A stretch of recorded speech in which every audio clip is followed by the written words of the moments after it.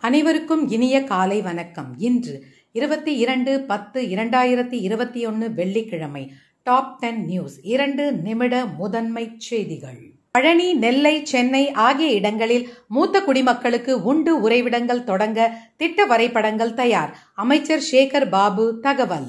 ஊரடங்கு கட்டுப்பாடுகளில் மேலும் தளர்வுகள் அளிப்பது பற்றி நாளை தலைமை செயலகத்தில் பதினொன்றை மணிக்கு உயர் அதிகாரிகளுடன் முதல்வர் மு ஸ்டாலின் ஆலோசனை நடத்த உள்ளார்.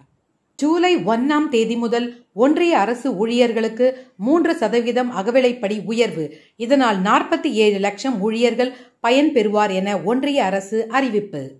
நூறு கோடி தடுப்பூசி செலுத்தி இந்தியா சாதனை. உலக சுகாதார அமைப்பு பாராட்டு.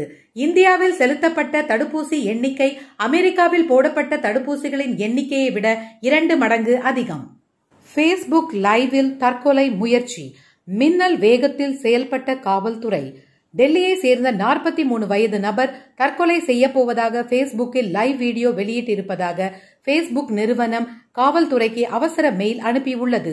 தற்கொலை செய்ய முயன்ற அந்த நபரை காவல்துறையினர் விரைந்து சென்று மீட்டனர்.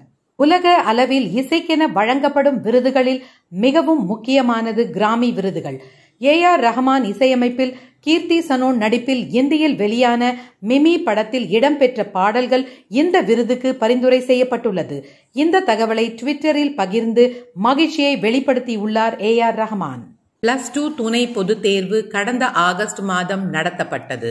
அந்த தேர்வு முடிவு வெளியான நிலையில் அதில் மறுகூட்டல் மறுமதிப்பீடு முடிவுகள் இன்று வெளியிடப்பட உள்ளது. பெட்ரோல் டீசல் விலை தொடர்ந்து உயர்ந்து வருகிறது. சென்னையில் நூறு ரூபாயை நெருங்கியது டீசல் விலை.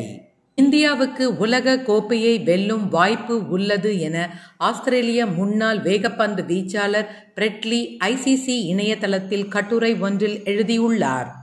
டி டுவெண்டி உலகக்கோப்பை போட்டியின் பத்தாவது ஆட்டத்தில் ஸ்காட்லாந்து எட்டு விக்கெட்டுகள் வித்தியாசத்தில் ஓமனை வீழ்த்தியது. மீண்டும் நாளை உங்களை சந்திக்கிறேன் இரண்டு நிமிட முதன்மை செய்திகளுடன். வணக்கம்.